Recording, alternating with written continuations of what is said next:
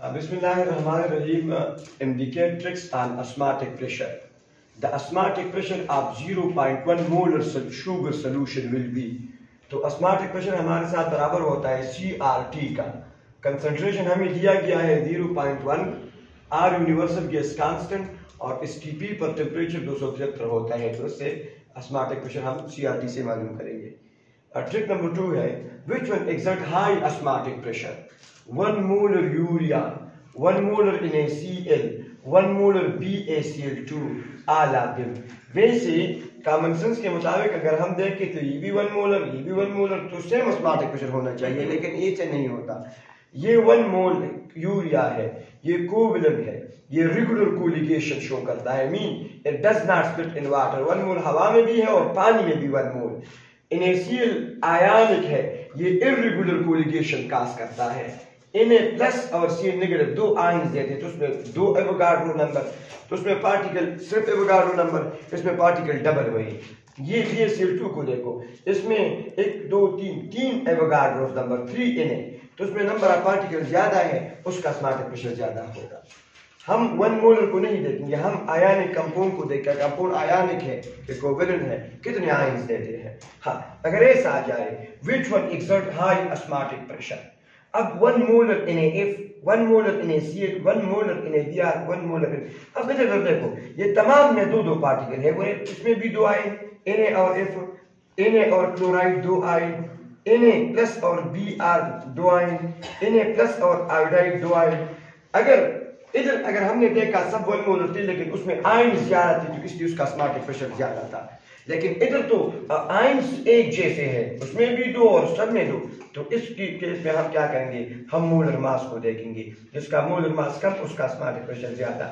When the number of ions are same then that option will be correct which have smaller molar mass pi is equal to CRT divided by molar mass osmotic pressure کا molar mass کا inverse انورسیشن ہے۔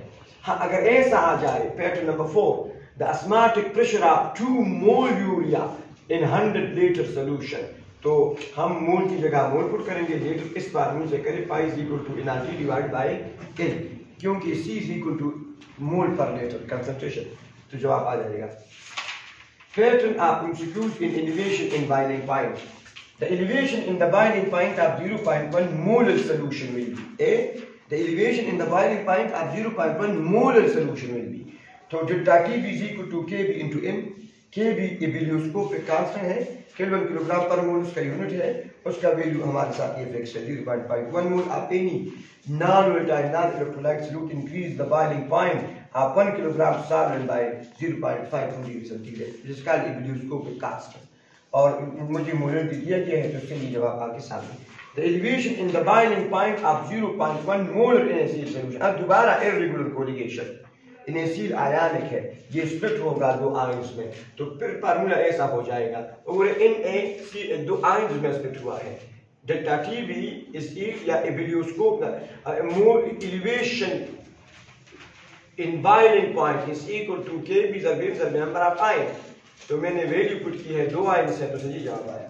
ہاں اگر ہم ایسا کریں کہ the elevation in the boiling point of 0.5 molar BaCl2 solution will be تو BaCl2 ہم کو تین آئنز دیتے ہیں۔ تو Kb ضرب M ضرب آئنز 3 آئنز تو آپ کے سامنے یہ جواب آ جائے گا۔ اگر سوال آ جاتا ہے کرائسکوپک کانسٹنٹ پر، ڈپریشن ان فریزنگ پوائنٹ پر، تو اس میں ایک پیٹرن یہ آ سکتا ہے۔ the depression in the freezing point of 0.1 molar solution of urea will be تو کیا ایک آپ کے سامنے ہے۔ کرائسکوپک کانسٹنٹ کا ویلیو ہے مائنس 1.86 اور مولٹی ہم کو دیا گیا ہے۔ اگر ایسا آ جائے the depression in the freezing point of 0.5 molar in a sealed solution. تو آسان سی بات ہے۔ اگر این اے سیل آیانک ہے۔ تو آپ نمبر آف آئنز ملٹیپلائی کرو گے۔ کرائسکوپک کانسٹنٹ کا ویلیو فکس ہے مائنس 1.86 ڈگری سینٹیگریڈ اور مولٹی دیا گیا ہے تو صحیح جواب آ جائے گا۔ کرائسکوپک کانسٹنٹ جب ہم ان mole non volatile non electrolyte solute 1 kilogram سال میں ڈالیں اور یہ بوائلنگ پوائنٹ کو کتنا بڑھائیں اب فریزنگ پوائنٹ کو مائنس 1.86 ڈگری سینٹیگریڈ تک کم کریں۔ السلام علیکم